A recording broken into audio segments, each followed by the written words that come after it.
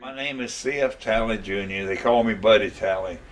I live in Fuquay-Varina, North Carolina, and um, I'm 86 years old. I'll be 87 in October. And uh, I got this neuropathy of the feet two years before my wife died, 20 years ago. She'd been dead 20, for 18 years. And I got rheumatoid arthritis uh, about 12 years ago. What's what is this this pain feet? What, what is that like for you? I'm gonna tell you something. A lot of times, I'd rather be dead. I'm not gonna kill myself, but I'd rather be dead. But when this stuff come on, come on gradually, Problems your feet? gradually, gradually. My knees, my knees just in the last year. Mm-hmm. My feet, neuropathy feels just feel just like nails are sticking in my all over, right there. say 50 nails sticking. I mean, they're sticking in an inch deep. Yeah. The pain is so, so bad. I, I can't even describe the pain. It's that bad. It, it hurt so bad. This morning, Tommy rubbed my feet. I cried. I, I, I just hurt so And one thing that's very unique about cannabinoids are that they seem to be effective in animal models of nerve-related pain or neuropathic pain. And opioids really do not work in neuropathic pain, but cannabinoids in the animal models do, which is one reason that led us to pursue the investigation of cannabis in patients with HIV-related uh, peripheral neuropathy. But your doctor But it- said you do have problems in your feet, though, don't they? Oh yeah, I, I got neuropathy in the feet, no doubt about that. The blood is, it just ain't getting, it, it ain't getting down there. Something. All I can tell you, I've never had anything like this in my life to hurt like this. Uh, opioids are not effective. Many providers use anticonvulsants, uh, which do have some other central nervous system effects. And many patients have told us that their pain actually is better uh, using uh, cannabis. Uh, and again, as mentioned in animal models, uh, cannabinoids seem to be effective.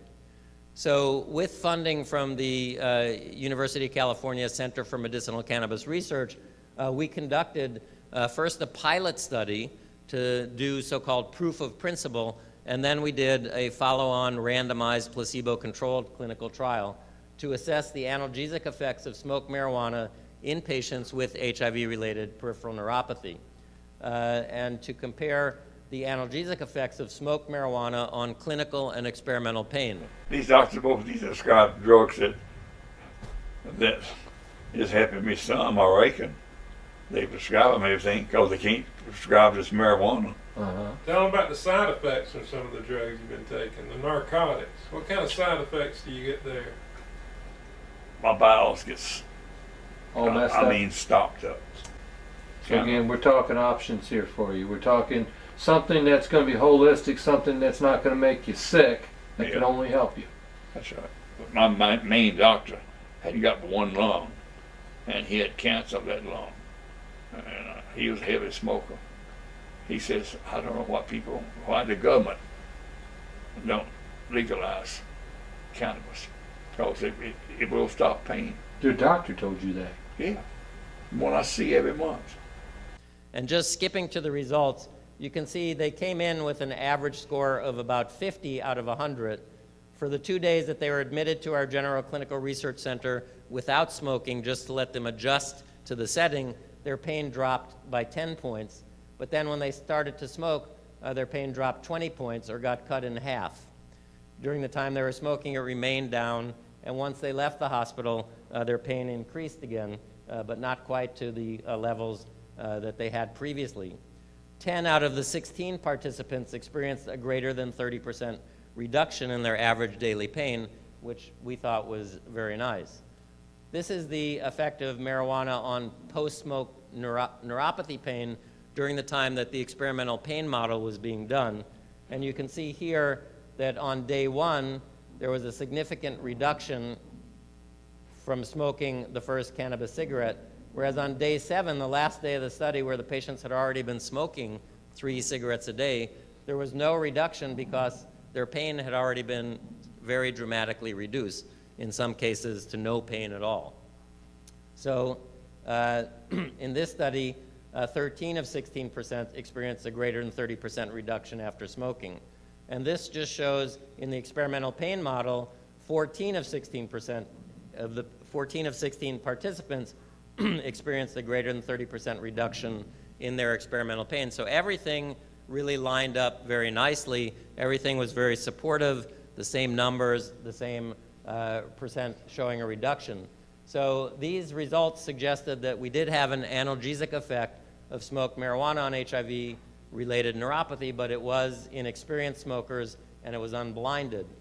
We used the effect size that we saw, 10 of 16 having a benefit, to calculate the sample size that we would need to do a randomized placebo-controlled study of smoked marijuana. randomized placebo-controlled trials, as we know, are basically the gold standard for getting any drug approved. So we felt, why not do that uh, in HIV neuropathy? And, and we did do that, and we completed the study.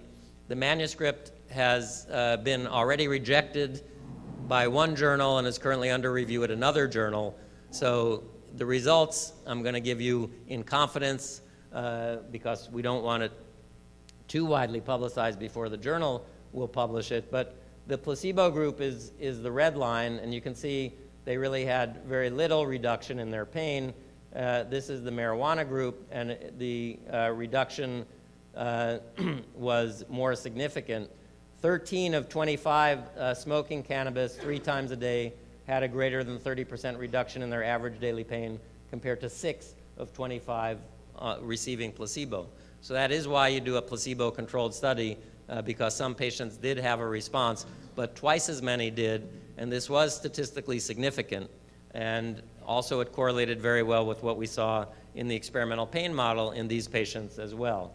So, you know, we believe that this is evidence that smoked cannabis compared to placebo is more effective in the relief of pain, and that in fact the results here are very similar to what led to the approval of gabapentin or Neurontin as a treatment for HIV-related peripheral neuropathy.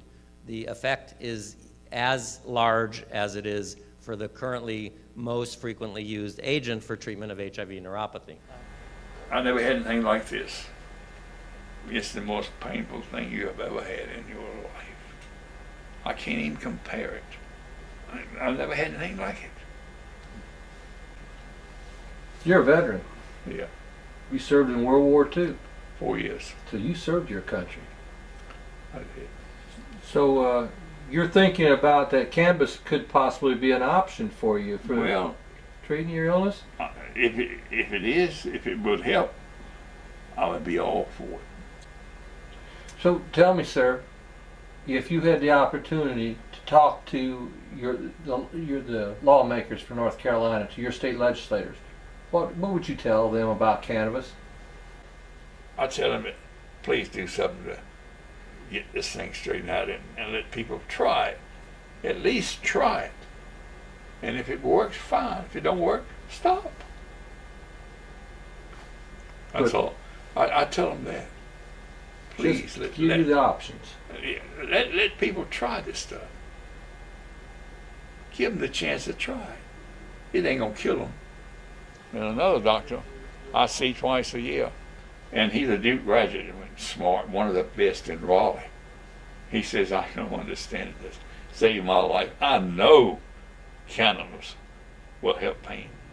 I know that. Boy, he's good. Duke graduate. Mm-hmm. He says, I don't know what, what's the legislature. I don't know whether they'll pass that now, but all I know it will. It will knock out pain. Well, all right, sir. I appreciate it. Thank you so much. All I can tell you Thank you.